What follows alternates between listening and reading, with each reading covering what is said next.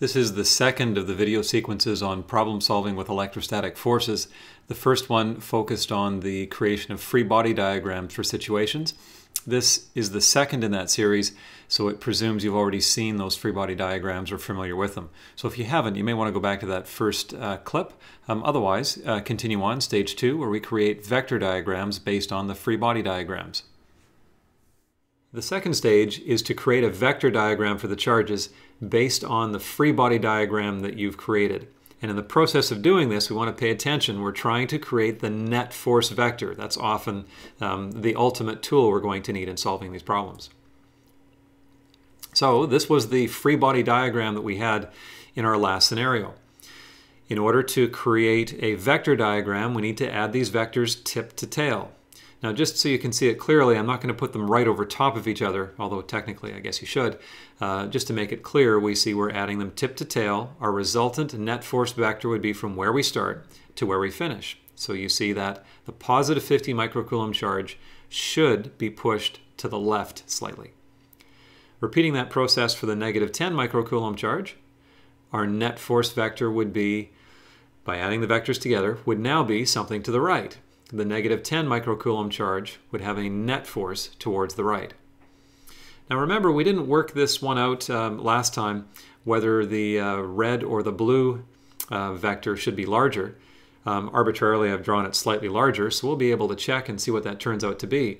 But if you didn't have an intuition, you may go through a problem where this net force is unknown. You're not quite sure. And then as you work through the calculations, you, you may get an affirmation of, of some intuition or idea that you had. So this is now stage two. Uh, in our problem solving, we'll create a vector diagram by drawing our vectors tip to tail and the net force vectors from where we started to where we finished.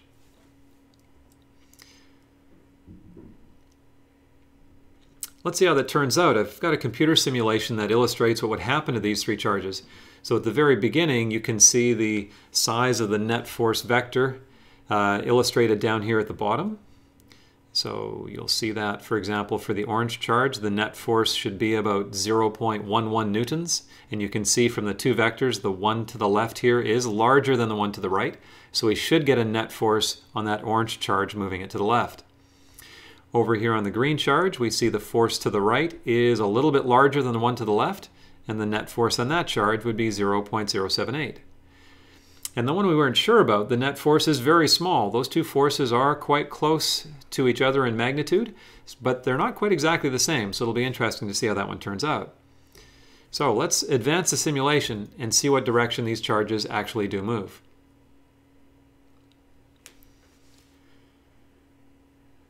So notice closely the orange charge is accelerating to the left. It's getting closer to the negative green charge, so the forces between them are getting much, much larger.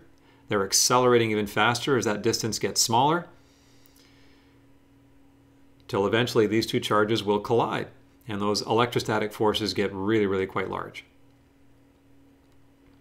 So it's sort of interesting to see that play out. But if we back up, in electrostatics, the key word is static. We're assuming the charges are stationary to begin with, and we're analyzing their initial condition. So that gives us a picture um, that our analysis turned out right.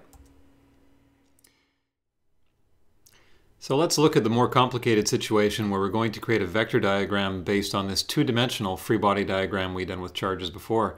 If we look at the 40 microcoulomb charge first, we have the two forces we need to combine together. We add the two vectors tip to tail. Our net force will be from where we started in this vector diagram to where we ended. So it would be in a direction just slightly west of north, as shown here. So that net force vector will be the direction that that positive 40 microcoulomb charge would accelerate or move um, given the, the, the, chance to be released. Uh, vector diagram for the 10 microcoulomb charge or negative 10 microcoulomb charge. So we draw the two vectors down here at the bottom. We need to add the vectors tip to tail. Our resultant vector, which is the net force, will be from where we started to where we finished. So the vector in this case would be somewhat to the west of south.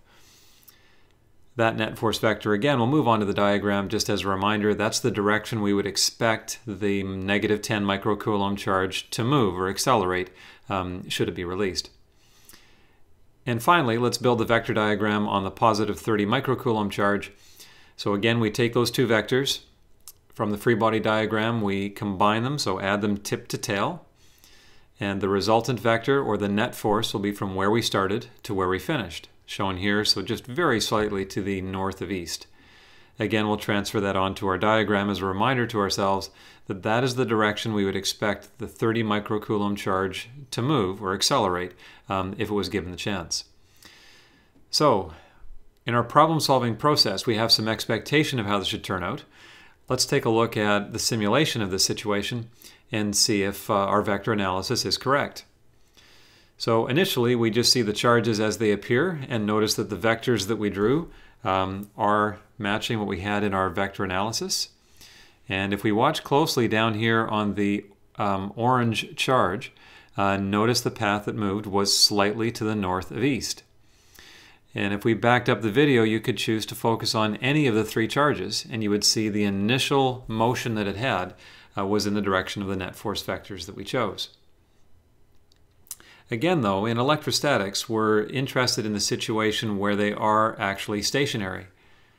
So we'll back up the simulation to the beginning, and that's the situation we'll begin our analysis on. So each of those vectors do match up if you look closely back to your free body diagram. Uh, I encourage you to pause the video at this point just to do a cross-check, uh, but they do match, so our vector analysis at this point is correct.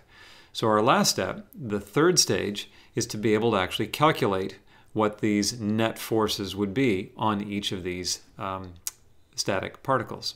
So stage three, um, and that will be in the next sequence of the video coming up. So feel free to exit this point, and if you're still interested, please continue on into the next screencast in the sequence.